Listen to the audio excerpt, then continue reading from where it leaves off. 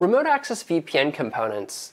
Looking at remote access VPNs, we essentially have on the head end to the right either the Cisco ASA firewall or the next generation firewall. Realize that for doing remote access VPNs, we can also use IOS routers, but we're focusing on firewalls for this discussion.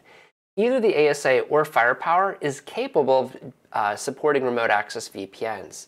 From the client side, we can either use the Cisco AnyConnect client or we can leverage the clientless connection. We'll talk about this in a bit more detail as we continue. Once the client, leveraging AnyConnect or their browser, is able to connect to the head end, the head end is going to require them to authenticate. Now, those credentials could either be stored locally. This is a quick, dirty way to set it up. This works great for a lab environment. It works great if you've got an ASA or Firepower appliance at the house. Uh, but for enterprise, for doing things a bit more scalably, we're probably going to want to incorporate a AAA server. So we'll tie our ASA or Firepower appliance into Active Directory or into Cisco's Identity Services Engine. This is where the authentication will occur against. So when the user connects, they'll give a username and password. A lot of times ISE will touch Active Directory. Active Directory will return member information. Let's say that you're a member of accounting or member of HR. ISE will make a policy decision based on your Active Directory group membership, just one of many ways to do it. Uh, that decision is going to be returned to your firewall, and then the firewall proceeds allowing or denying that connection to be established.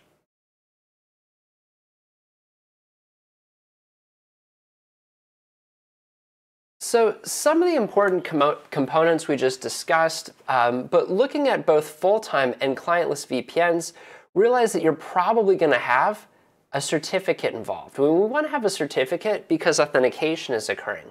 On one side of the connection, you've got the user. How does the user authenticate? A lot of times this ties into Active, uh, Active Directory credentials as well as some other factor. If you require two-factor authentication, let's say for PCI, digital certificates are actually supported. So you can use a digital certificate as an alternative to a typical like key fob or something that's generating a pin every 30 or 60 seconds. Um, there's got to be something that you know, which is your password, and there's got to be something that you have, which can actually be intangible. It can be a digital asset, such as a digital certificate. Um, again, we can leverage either of these for authentication. If you're using digital certificates, one of the necessary components to think about is a certificate authority. While you can implement a CA server on Microsoft in a heartbeat, it's very easy, just roll it out as a server role, or we can go into uh, a Linux system with OpenSSL and set ourselves up as a certificate authority, are the users going to be enrolled with that CA server for remote access? If the case is yes, fantastic, you have no worries. But if you can't always guarantee that, you'll need to use a public CA server.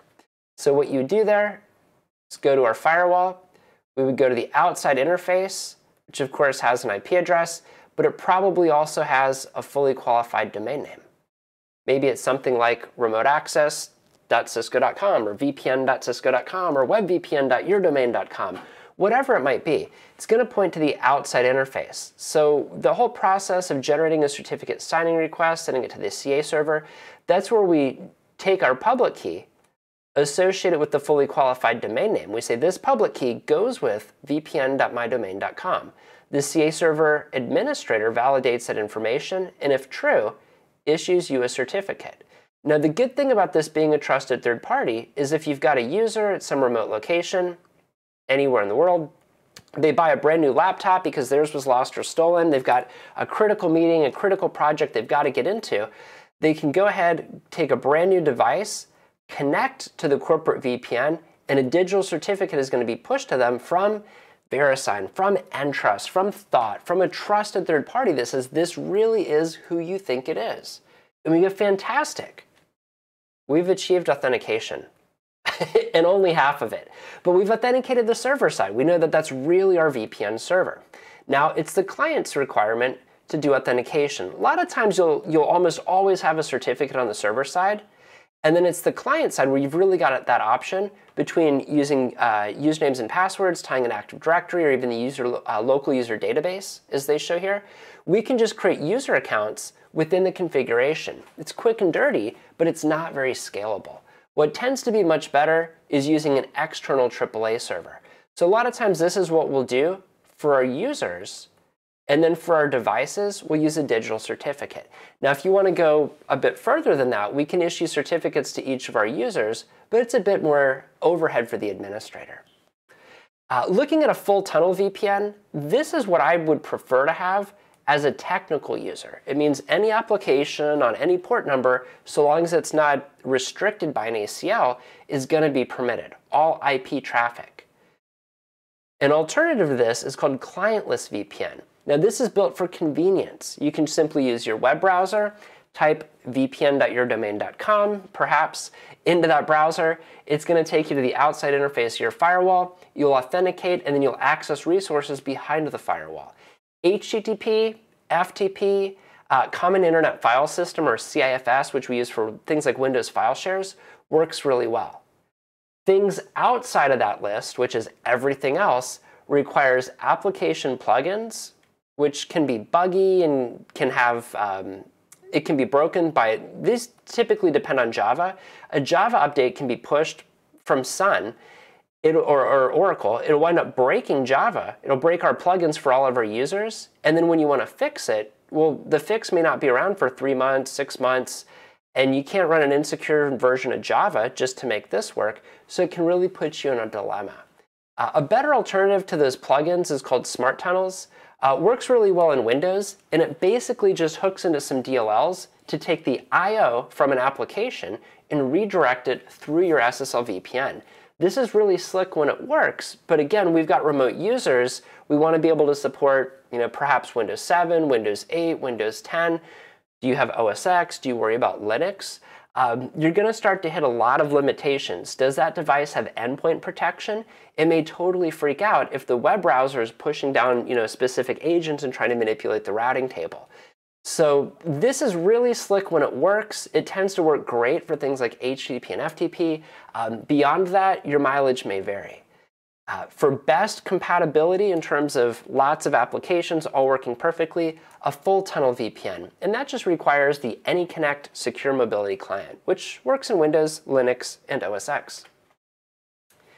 Here's a nice table that lists some of the differences between the ASA as well as firepower.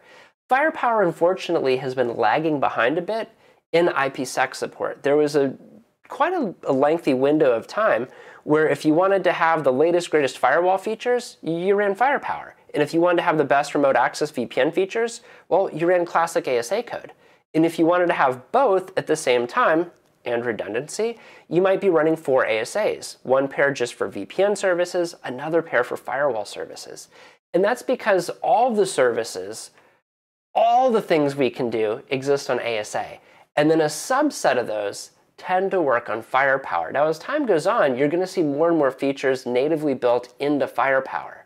But we're at a point, at least during this recording, where the firepower is still kind of catching up to some of the VPN capabilities of the ASA. And when we look at the underlying architecture of firepower, you'll see that it really is a mixture of firepower handling upper layer services and then traditional ASA code handling the lower uh, level services. Once uh, long ago, these were fragmented, and now it tends to be unified. So both of these are kind of working uh, in the same capability.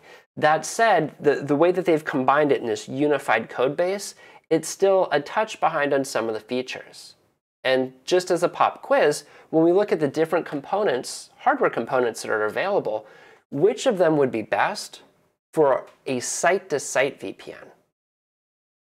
Right? We're talking about remote access now. Remote access, the firewall is king of VPN, specifically the ASA. Firepower is getting there. When we look at the router, the router is king of site-to-site because he's got so many capabilities. He's got lots of different QoS models he can leverage. He's got uh, full uh, support for BGP, full support for complex multicast. Um, the firewalls can do a little bit of multicast, but not a lot of the fancy stuff. So which one is the perfect solution? In a lot of environments, both, because we'll have, if it's a decent sized environment, a good mix of site-to-site -site connectivity, a lot of routing going on. Maybe we've got uh, advanced QoS needs or MPLS that we've leveraged. and we also have a good number of remote access VPN users. So there's a good chance you could have both site-to-site and firewall doing VPNs. You look at that and you go, well, wait, am I going to use traditional ASA or am I going to use firepower? I've seen a lot of customers up until, and this is January 2020 that we're recording this, I see customers that are still running both. Um, they've got certain needs that the ASA handles really well, and they've got some newer boxes, maybe firepower appliances, that are doing traffic inspection only.